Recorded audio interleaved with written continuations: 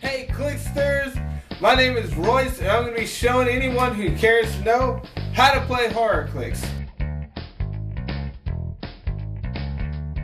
Oh, in 2006, the company WizKids came out with a game called HorrorClix. Uh, it utilizes the same bases as a couple of the other miniature games, such as HeroClix and Mage Knight. But HorrorClix was a little different. It wasn't exactly the same kind of uh, just let's go out and beat each other up kind of thing. They wanted to promote scenarios. And of course, with so many horrific characters, and it's in the name, it was all in a horror theme. It included original characters created by the folks at WizKids and licensed characters such as Alien. Uh, most of this can be bought pretty cheaply because the game was discontinued in 2008 so you can find boxes of it for pretty cheap. So around maybe a $40 investment, you can get a set roughly about the size of this. What you will need to play the HorrorClix game are going to be obviously the miniatures.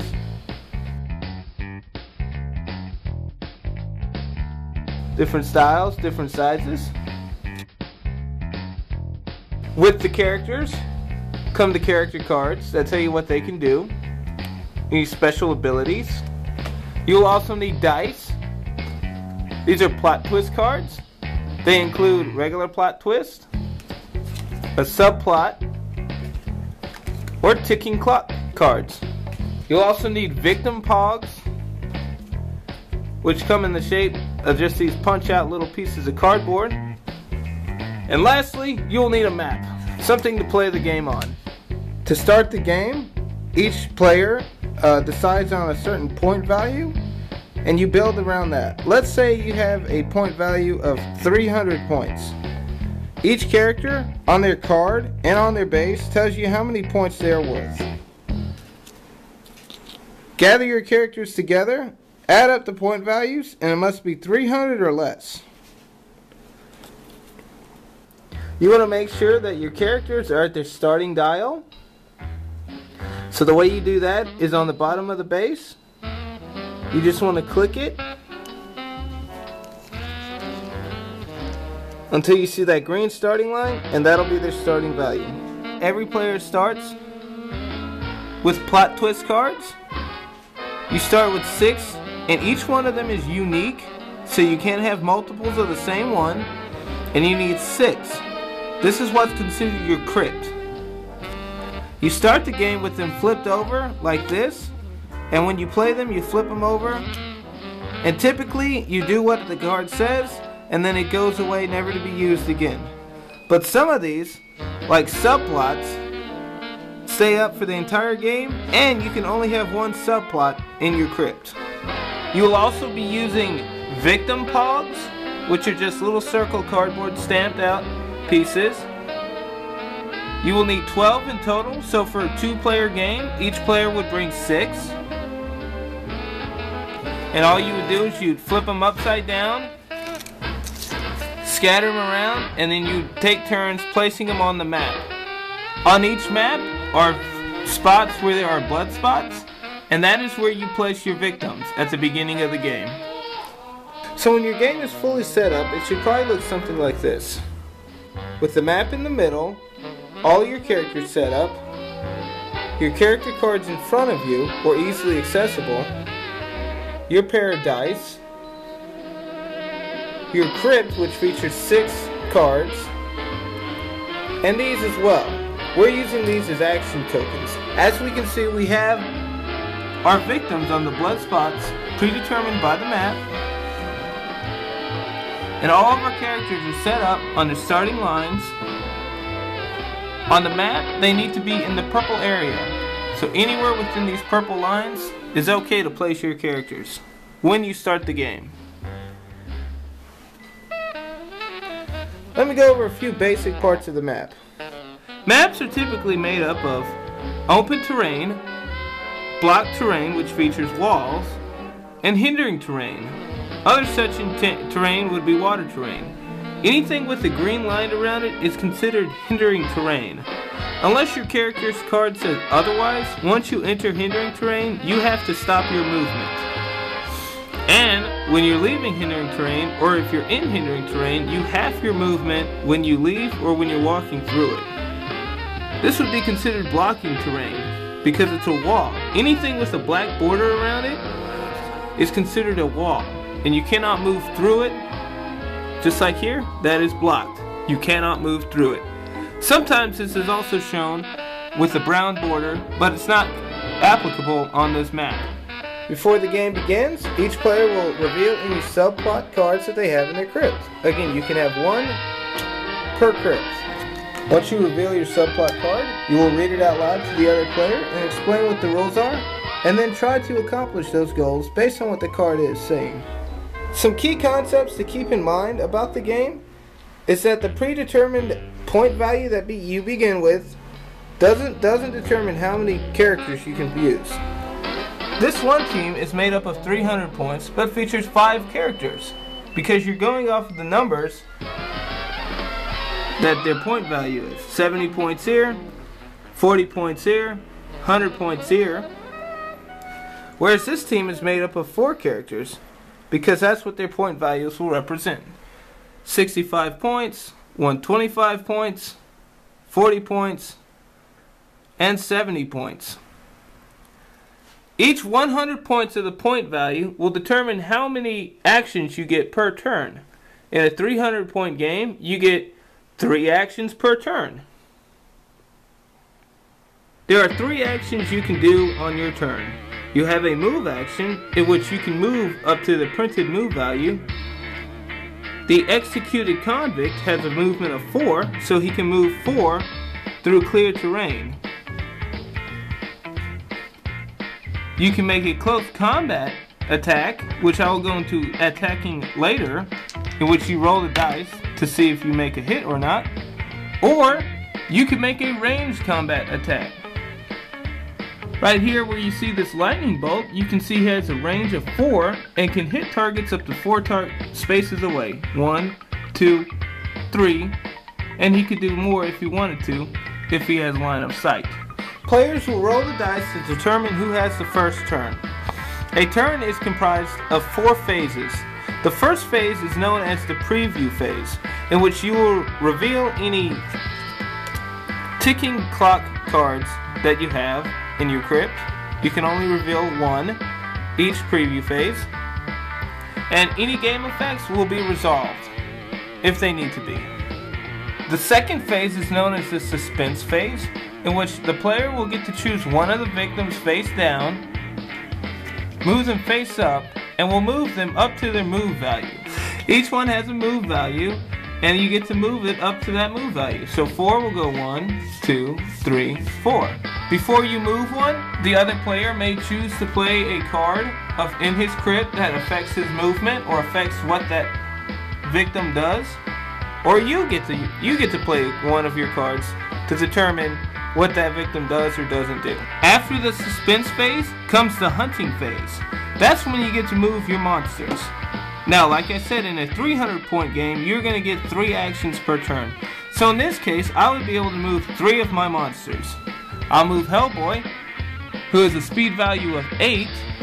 1, 2, 3, 4, 5. He's going to stop his movement when he gets to the victim because he has not slain the victim like an evil character would do. He has rescued this victim.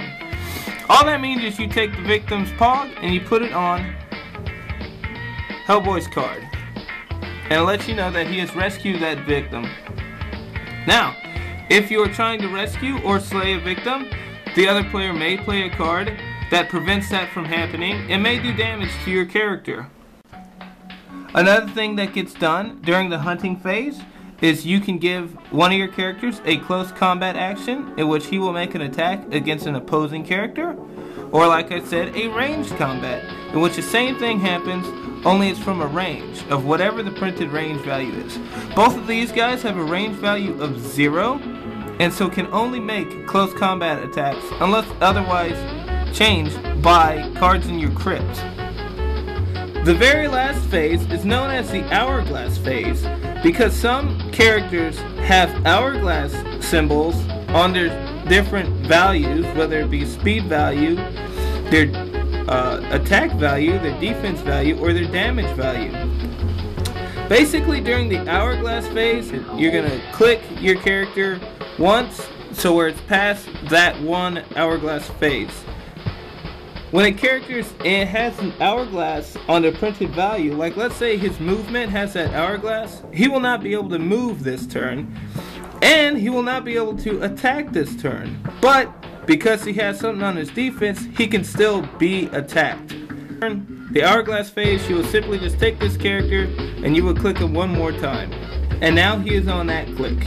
And that will successfully end your turn and it'll be the next player's turn. A reason why tokens might be useful, especially in a game like this, is that every time you, you move your character, it uses one of your actions. So in order to remember who just did an action on the last turn, you can use something like a poker chip. Some people use little beads, some people use dice as well to show how many actions they have. But it, all it does is show you who moved last turn.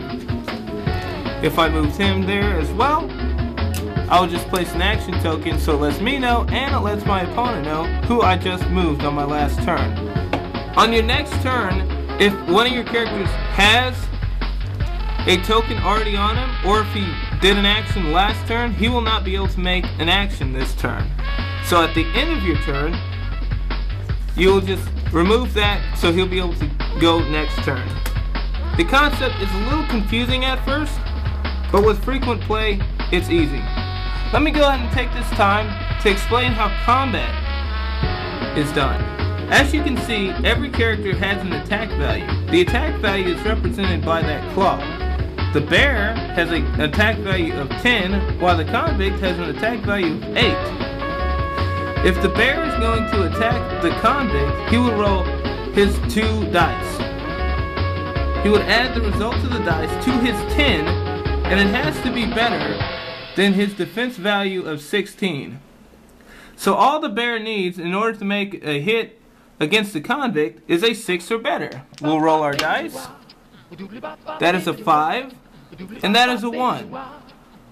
That is 6. 10 plus 6 is 16, so the attack hits. The bear does a damage of 3.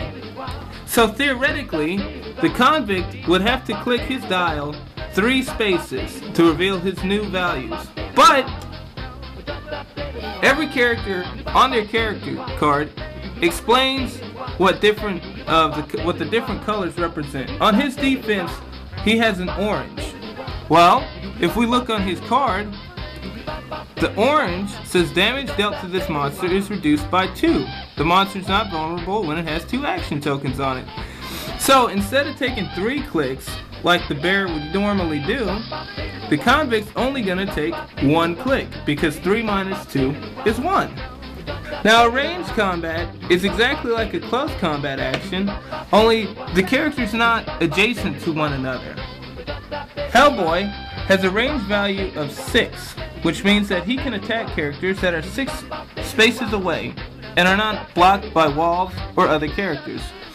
We have 1, 2, three, four. And so he can make a shot against the officer. The officer has a range value of four, right next to the lightning bolt. So, one, two, three, four. And so if he wanted to make a ranged combat against Hellboy, he could. Exactly like last time, we take their attack values. Hellboy has an attack value of 10, the officer has a defense value of 15, so all Hellboy would need is a 5 or better in order to make the attack. And once again, you want to look at your character's cards to see if they have any special abilities that affect this. You also want to look at your crypt cards as well, because sometimes you can play a crypt card that changes this outcome. Some important concepts to know about combat is you cannot attack somebody else if they are standing on the other side of a wall. Even if they are within range, they still can't be attacked, unless it says otherwise on their card. Remember, you always want to revert to what the card says first before what the rules say. Same as moving. You cannot move through walls. You have to move around them. You cannot move through opposing characters either.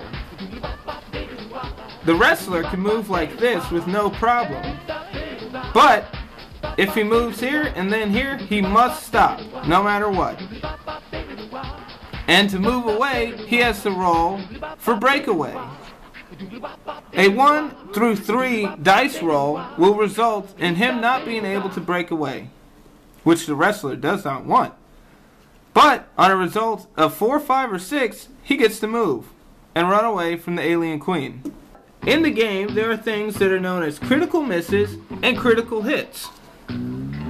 When rolling your combat, if you wind up rolling two sixes with these dice represented by two skulls, that is known as a critical hit. So on top of the damage that you're already doing, you're going to do one additional damage that cannot be reduced.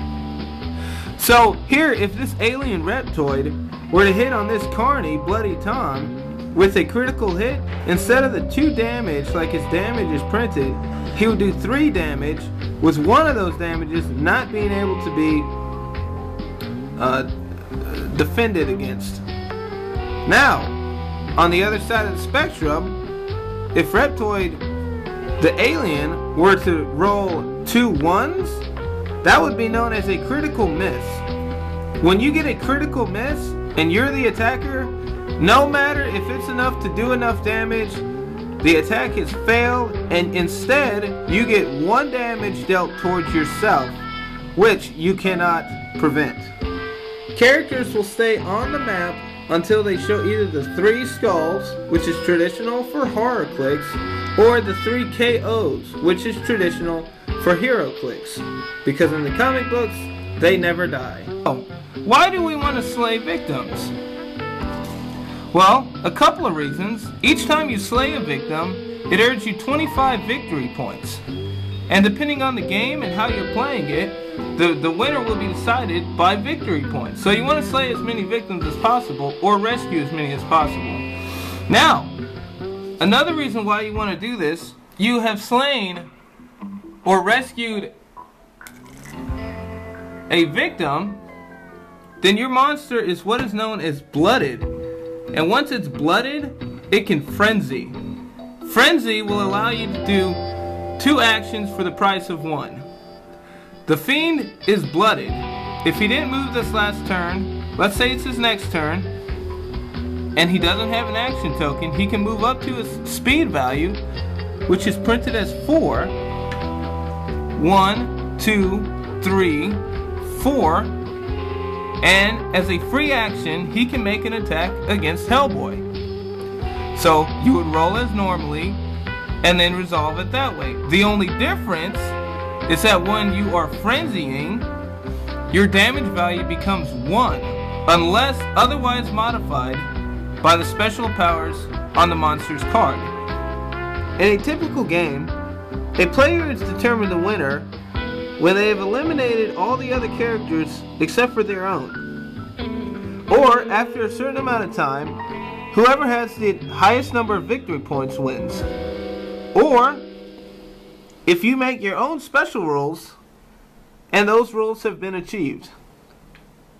Overall, what I can say about this game is that it can be a lot of fun. Uh, now, one drawback is that it can get to a point where it gets a little boring to where all you're doing is you're down to a couple of characters who are just sitting there rolling the dice after one another see who gets what and who gets the first hit in. Um, but that's what I like about the special scenarios. So if you were to play it, it'd be best to get familiar with the rules. You can go online, you can visit www.boardgamegeek.com and just search for HorrorClix and there's a great PDF that shows every single rule you're going to know. The most important thing is to read the cards because all the cards are going to determine what your characters can and can't do. It's a good social game uh, as with any miniatures game because it requires a lot of communication with the other players and picking up their pieces, seeing what their attacks, what the defense is, looking at their cards, uh, so, so it's a good way to socialize as well, or it can be a good way. Uh, maybe for a game like this, maybe not so much, just because it is discontinued. Uh, it's it's about four years old now, and only getting older, and only getting cheaper. But if you're a horror fan like myself and you like little miniatures, little collectible miniatures, this game is worth a try. It's it's it's cheap get, to get into, and it can be a lot of fun. Uh, again, I'm not describing all of the rules for full detail of all the rules. You might want to go online, check out that PDF, and the best thing to do is just buy some of it and jump right into it. Well, I hope you've enjoyed this tutorial. And if you do like it, make sure you like it. Make sure you ask, you can ask me any questions in the comment section. I will answer them. I'm familiar with most of the rules, but if not, I will look them up for you. Until next time.